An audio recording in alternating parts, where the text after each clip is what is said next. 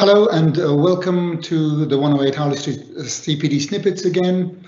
Um, these are, for those of you who haven't met us and haven't been watching our shows, these are short talks lasting 20 minutes and we're going to use 12 slides talking about one single topic amongst a number of uh, medical areas, specialties within our group. And uh, we do Appreciate feedback. Please send us any recommendations for future topics as well. In each talk, there's a key slide of the main message to take home. Uh, today's talk is about pruritus ani or anal itching, um, and I hope this will be nice and light-hearted and entertaining. Uh, certainly is a condition as a colorectal surgeon we encountered frequently and as one very famous colorectal surgeon John Goligher wrote it is not a, condition that uh, is difficult to get uh, that's very easy to uh, become uh, enthusiastic about. Having said that, I do find it extremely in, uh, interesting because there is a, good, a bit of good old-fashioned medicine going on. You need to take a good history and examine the patient, and often the diagnosis is there. Now, prior pruritus ani, the first thing to say is this is a symptom, not a diagnosis. And it's an extremely unpleasant cutaneous sensation uh, with uh, itching and burning feeling and soreness. And as you can see from my picture on the right hand side, it does drive patients potty, absolutely mad they go with this itching. Um, and, and, they can go on for days and weeks and months and years uh, scratching and itching at night especially and they really don't sleep and they become quite stressed it's extremely common and much more common with amongst men uh, in middle ages up to older age groups. And there is a spectrum of disease, as you know, from the very mild, uh, bit of sore bottom to the severe intractable one. And we'll talk about treatment of these shortly. Now, uh, I did mention it's a symptom, so the underlying etiology uh, is uh, varied, and you can have a significant proportion of patients varied uh, reports from 25 to 70% of idiopathic uh. Uh, as you can see, nobody really quite knows how common this is, but there's a very wide range, but clearly it's quite common where there is no underlying pathology found. And this is the one that we will often see, you will see in your general practice, and uh, it is a real annoying condition.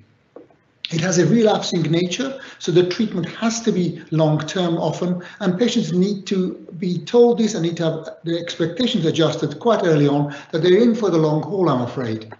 Uh, there are a number of uh, related or uh, aspects which are uh, uh, sort of coexist, and these are behavioral, um, overzealous cleaning, soap, detergent, perfumes seem to be uh, uh, important with some group, subgroup. Stress and anxiety, as you mentioned, does seem to be a uh, coexisting problem. We don't know which is chicken, which is egg. And dietary factors, as you can see, you can see why it's such an annoying, irritating condition. If you can't have your caffeine or your chocolate or your beer or any spicy foods, then uh, and you're itching and scratching, what can you do?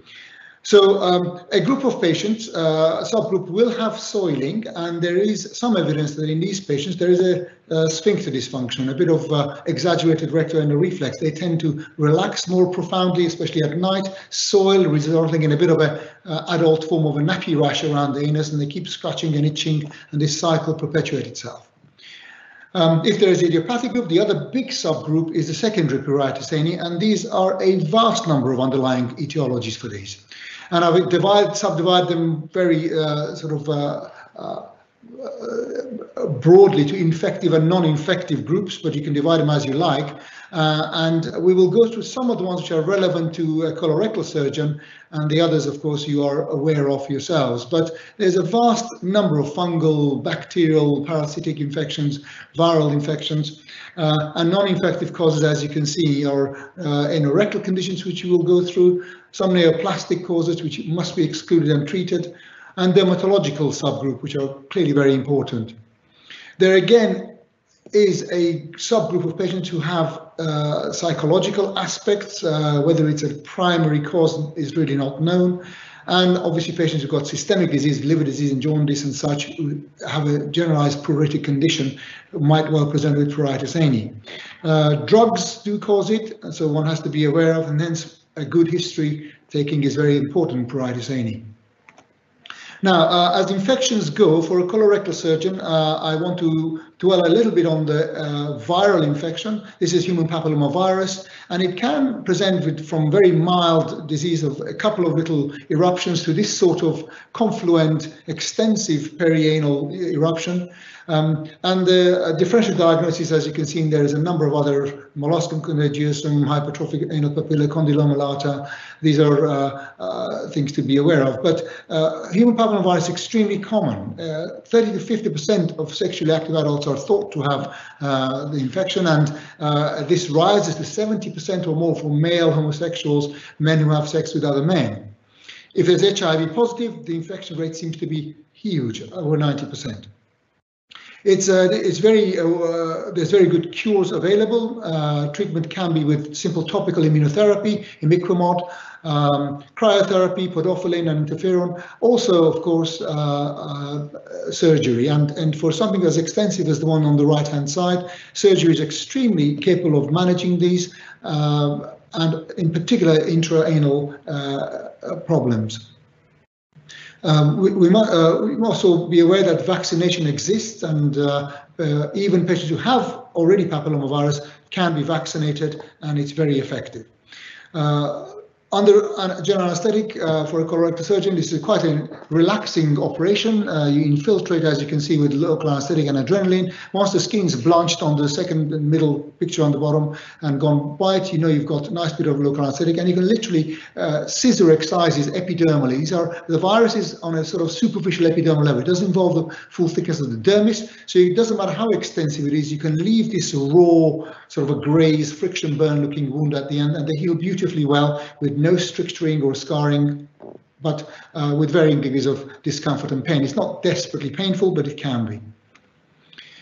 As far as anorectal causes of pruritus are concerned, uh, this poor old hemorrhoid, as we had uh, in our previous talk, is seems to be the blame for everything. He's the victim. Every other symptom is, every other problem is caused by it. But but when you do have a hemorrhoid, which is external, and in particular one on this picture where there is a mucosal um, uh, protrusion, as you can see, sort of a significant shiny mucosal ectropion or prolapse, then they do weep and discharge mucoid feculent bacteria uh, fluid which sits on the skin and causes little local irritation and uh, and and itch and itch scratch cycle develop. So hemorrhoids can be the cause of pruritus but be cautious in treating doing major significant hemorrhoid surgery for purely pruritus unless there's good reason.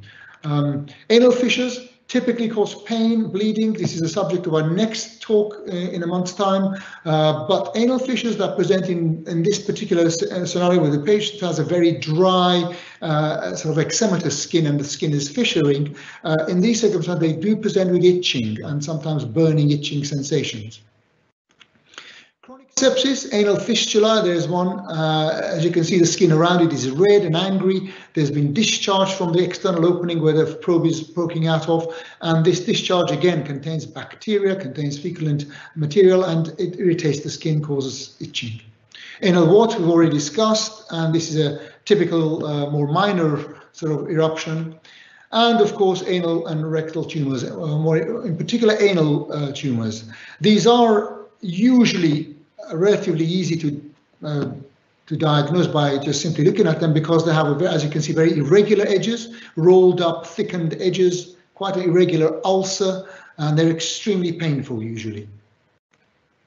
Chronic diarrheal conditions, uh, inflammatory bowel disease, Crohn's and colitis.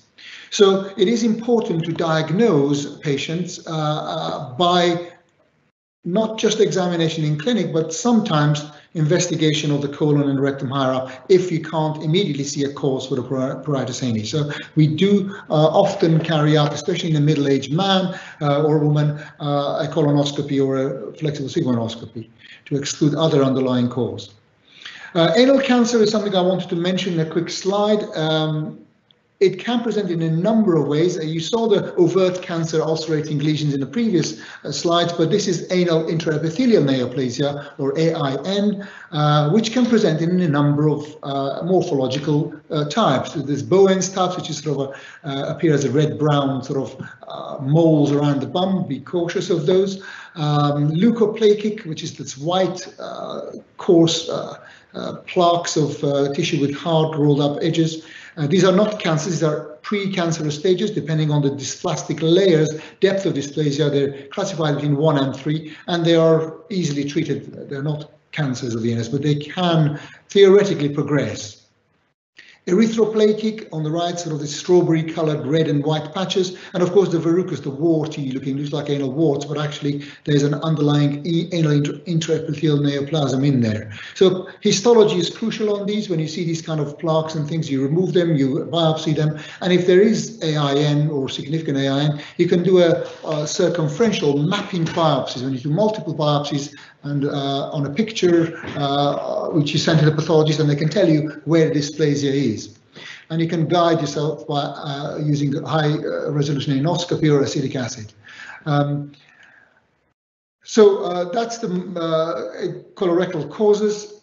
Dermatological cause of pruritus ani, well, these are a multitude, and the common things happen commonly. Eczema and psoriasis do affect the skin creases everywhere, including the natal cleft, as you can see on the right, and uh, these conditions obviously are treated uh, in conjunction with a dermatologist, uh, but they treat it in their own way. Lichen planus is an autoimmune phenomenon of the skin, seems to affect uh, that part of the anatomy, the, the, groin and the female and male genital area. Um, lichen simplex is common. Uh, lichen sclerosis is a really difficult uh, condition to treat, almost incurable sometimes, with very heavily fibrotic uh, coarse thickening of the skin, which can cause significant deformity. And of course, the common atopies and allergies and such, and intertrigo. Uh, remember agents, detergents, latex, lanolin, soaps, parabens, preservatives. So contact irritant dermatitis. Patients have often used a lot of over-the-counter medications by the stage they see us. They get given a whole bunch more to use, and these are all helping perpetuate the problem. So let's, we need to be quite cautious in giving them over-the-counter medications. They contain a lot of unnecessary products, which in the susceptible individual actually makes the problem worse, including antibiotics topically and antifungal agents. So pruritus ani is a symptom and a diagnosis once reached, we treat the cause. It's simple.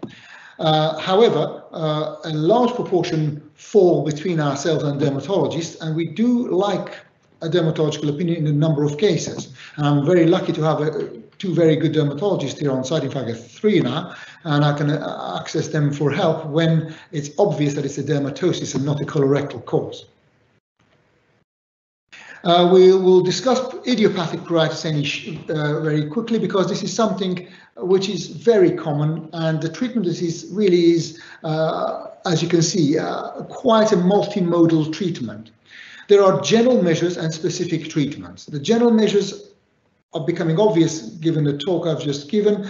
Uh, you must exclude any underlying anal pathology, of course, a fissure or a fistula, etc. But once you've excluded, you know it's truly idiopathic. Um, address the diet. Is the patient on 10 cups of double espresso or uh, whatever else these days they drink, which has got triple shots of uh, coffee or whatever in it, in which case you might want to tell them to reduce that, uh, beers, chocolate, etc. Uh, uh, patients not going to like you for it, but it is important to have a little history of what they're eating and drinking. And uh, and those patients who, when you see the clinic, when you do a little wipe and you can see a bit of staining and soiling and a bit of discharge on the skin, you do want to get them to have a good, careful skincare, well, appropriate uh, products. You want them to avoid abrasive repeated multiple wipes. Patients who are overzealously washing with water and soap must stop doing so. And you need to wash with something quite strongly emollient, quite strongly oily, such as Epaderm ointment, which is my favorite. Uh, dermol is very good, but dermol has chlorhexidine, and it itself, as an, local uh, sort of uh, antibacterial agent, can cause irritation of the skin. So be, uh, I stick with a simple stuff, Epaderm, or aqueous cream is very good for washes. Uh, and then try them with simple barrier protection to stop this soiling. Once they've had a good wash, the, clean, the skin is clean. Immediately apply uh, zinc-based uh, or titanium-based barrier creams, uh, which are freely available in any uh, Mothercare or any Boots or any other uh, chemist in a baby section. These are very good at protecting skin from being soiled and itch and irritation. And as we discussed, stop the over-the-counter medication, in particular those containing local anesthetics, which are, uh, after a period of time, themselves sensitize the skin. often the patients have very mild symptoms and having used a number of products over time, they've made it much worse because it gives them this soothing effect immediately. They feel better with it and they keep using it, but over time they're exacerbating the problem, developing this uh, irritant dermatitis problem. As far as specific treatment is concerned, sure, uh, once we know it's idiopathic and there's no underlying fungal or other infection, I do give them a short course of a potent steroid. And again, I tend to favor ointments rather than creams. Ointments are simple, oil-based, paraffin-based, as opposed to creams, which are a number of preservatives and uh, vehicles uh, to uh, make them lovely and uh, uh, in, soothing, but they, they are complex products as opposed to ointment. As we discussed, joint care dermatologists, certainly if there is a difficult problem. And uh, I've used very uh, effectively a, very sedating antihistamine, hydroxyzine, which also had anticholinergic side effects. So it dries those wet, moist skins, but also it puts them to sleep, so they stop scratching at night.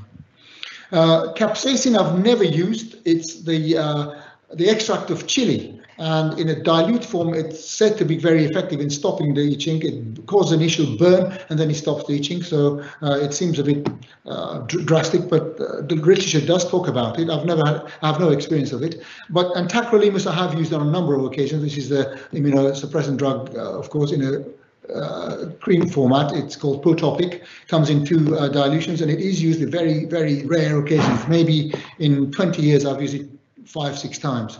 Methylene blue tattoo, I'll come to in a minute, and of course psychological help. Now, methylene blue tattoo. Uh, this is the sort of patient you want to get to methylene blue tattooing. This is a patient who's had years and years of sore, itchy bottom to the point where he decided he will tattoo himself and as a matter of protest. Um, methylene blue uh, injection intradermally does seem to work extremely well, but it is something to be very cautiously used by a specialist who has experience. I have used it perhaps 15 times in my career.